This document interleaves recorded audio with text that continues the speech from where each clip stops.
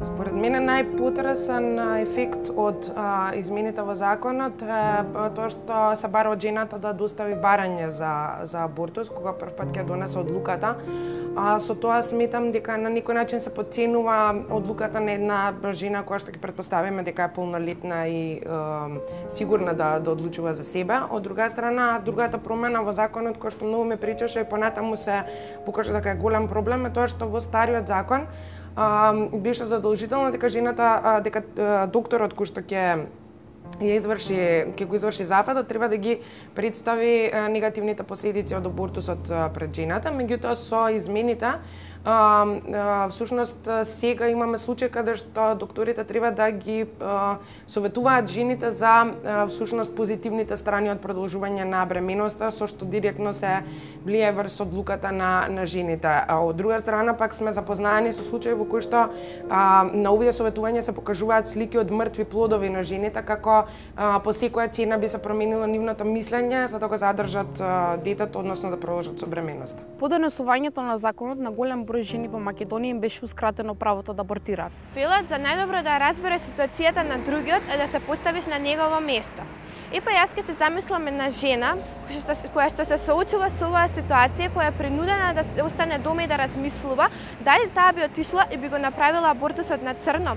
И па веројатно одговорот би ми бил вториот.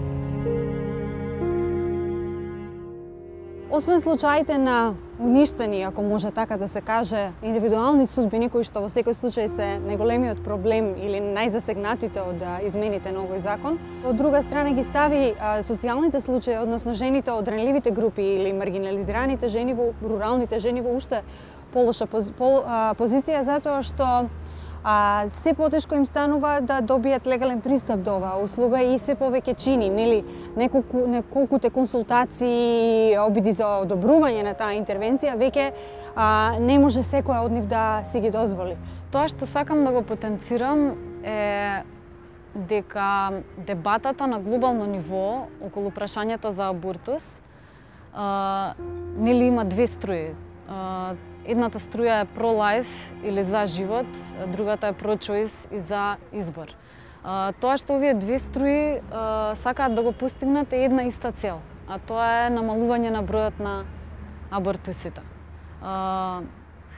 Не ми се допаѓа тоа што двете кампањи одат до експлицитни примери и објаснувања за која страна е подобра. Сметам дека треба да се работи на тоа. Никој не сака да го, да го преживува чинот на прекинување на бременост. Едноставно мора да постои како решение достапно за оние жени кои што се соочуваат со таквиот проблем во моментот.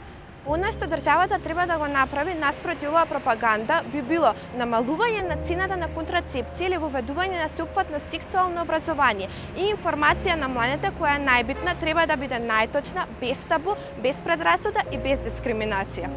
Ки повикувам граѓаните и активистите поактивно да ја вклучат оваа тема во јавната сфера.